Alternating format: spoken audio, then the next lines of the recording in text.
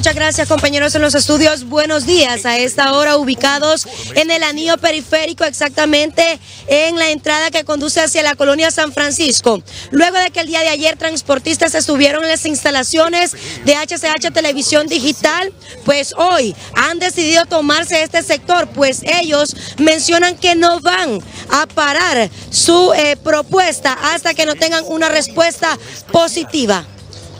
No, la verdad que esto continúa, esto continúa. Estos paros de nosotros aquí continúa porque la verdad que no los quieren dejar trabajar, pues. Eh, la última palabra creo que la tiene el señor presidente, así que señor presidente, si está escuchando, por favor, déjenlos trabajar, señor. Usted sabe que cómo que no quiere delincuentes usted aquí en el país. Entonces déjenlos trabajar, que nosotros lo que estamos pidiendo es que los dejen cumplir, nosotros les vamos a cumplir el horario, pues, pero ellos no lo están cumpliendo, los de transporte, nosotros no lo están cumpliendo el horario, los están descomisando las unidades. Son las 7 de la mañana con 54 minutos. Este es el horario en el que ustedes todavía eh, pueden laborar porque les han dado permiso de 5 a 9 de la mañana. Don Enrique, continúan las tomas y no van a parar hasta que se solucione el problema con los microbuses. Muchas gracias. Buenos días, HCH. Eh, pues sí, esta es la hora que nosotros deberíamos de andar haciendo el pan nuestro cada día. Porque aquí sabemos que en Honduras estamos dulce a coyol quebrado, coyol comido.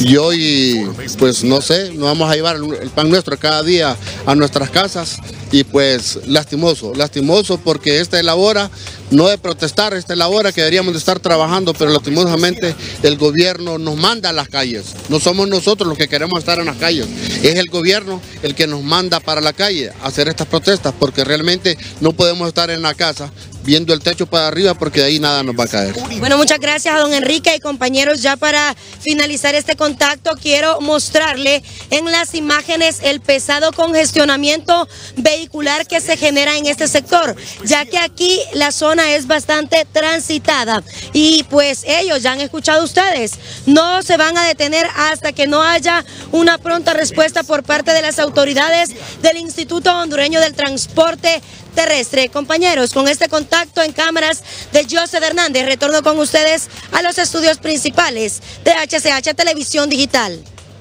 Muchas gracias.